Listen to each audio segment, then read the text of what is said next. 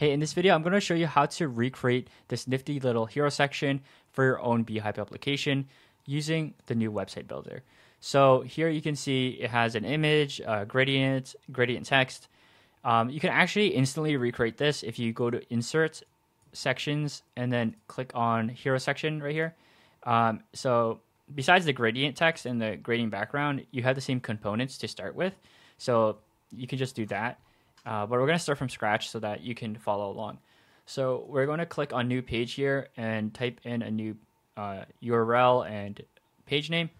And we're going to start with the image because it's actually sort of like the big, um, I guess, thing that's a part of this hero section. It um, takes up the most space. So we're using shots.so, which is a mockup tool. It's free, um, and I use it for a lot of my projects.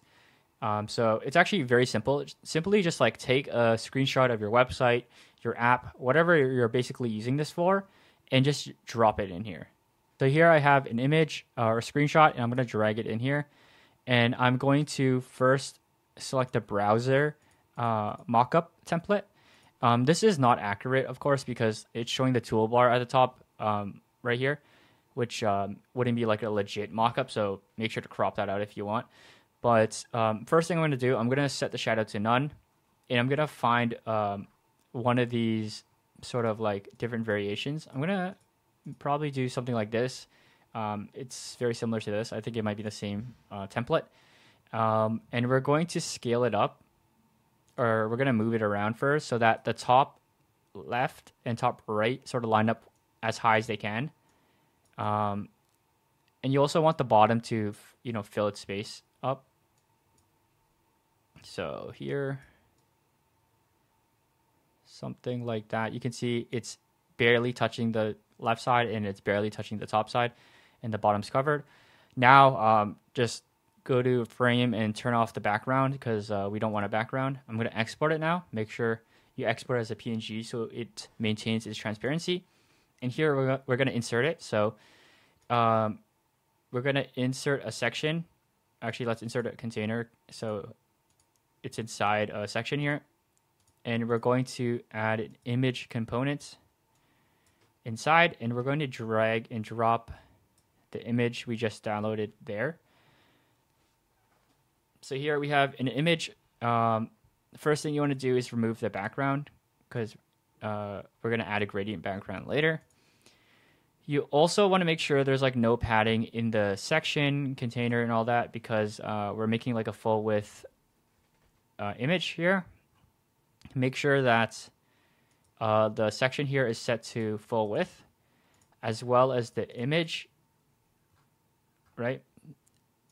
I'm not sure if it's cover or contain. I'm just going to leave this for now. Um, we might have to go back to it later. But here um, you can see we have the image. So that's really great. Now uh, let's add the background, which is simply a gradient. Uh, add that background to the section because the section houses all these components. But before you do that, make sure that the background is disabled basically, like set to zero transparency for all the other components inside the section. So click on background, go to gradient here, and you can see it's simply a black gradient with like purple. So uh, I think the left one, you want to make the main color. So the main color here is like pink, purple, uh, right?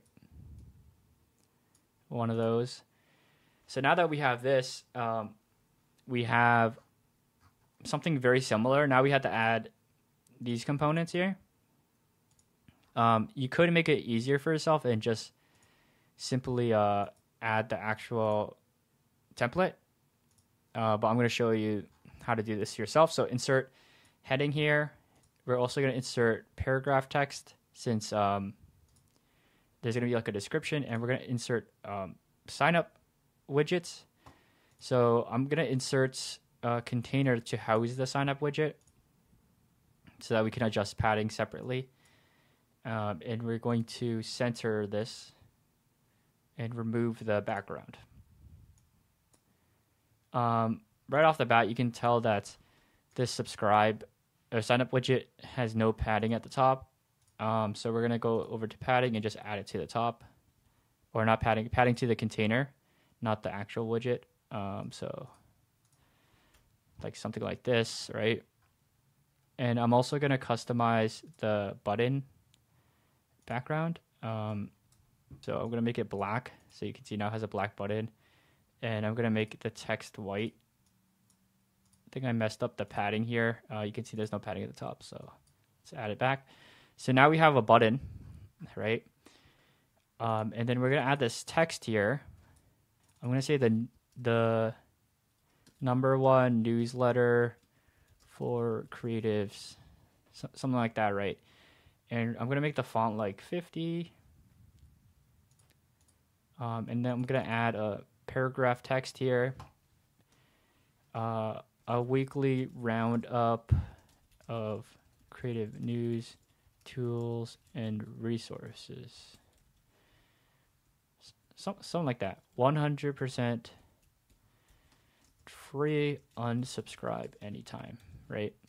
Maybe like bold one of these. I don't know. Um, so that's great, right? You'll notice there's not padding at the top, so I'm gonna add padding to the top, uh, like 20 or something, maybe 40. Yeah. Uh, the last thing we have to do is add this gradient thing here, and maybe like something like here. I'm gonna insert paragraph text again. Um, read by employees at Disney, LinkedIn, IBM. This is actually um, actually the case, so uh, make sure you're writing something truthful. Um, and then lastly, we're gonna add this gradient text here. Uh, so highlight the text here and go over text gradient, and it's simply two colors um, that are similar, so pink and purple here. So I'm gonna do pink and purple. Oh, uh, you need to be on linear for this. It's slightly different than uh, radial. But here you can see, I think I want the pink on the right side. I think that would be better. So something like this. Um, and there, there you have it. You have something very similar. You can, of course, go in and change the section um, background color if it's like, if you want like a different color, obviously. So like something closer like this, maybe. Um, so there you have it. Um, that was quick and easy, less than 10 minutes. Um, it could be faster if you are not talking at the same time, but that's how you can re- recreate something like this.